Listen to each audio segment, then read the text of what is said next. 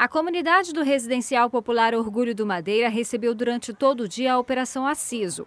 Trata-se de uma ação social onde foram ofertados diversos serviços, como consultas médicas, atendimento odontológico, exames rápidos, orientações de saúde, recreação com crianças, entre outras atividades. Essa ação é em conjunta com a Prefeitura Municipal.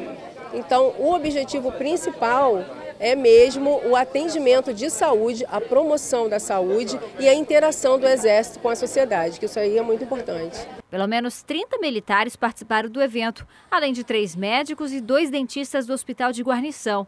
Estudantes e professores de cursos profissionalizantes também se envolveram na ação, assim como a Secretaria Municipal de Saúde, que foi parceira na operação. Leva a saúde para próximo da população, facilita a vacinação, facilita testes rápidos, né, consultas médicas. Isso vai fazer com que, com que diminua a fila no posto de saúde. Quer dizer, acaba unindo uma coisa ou outra.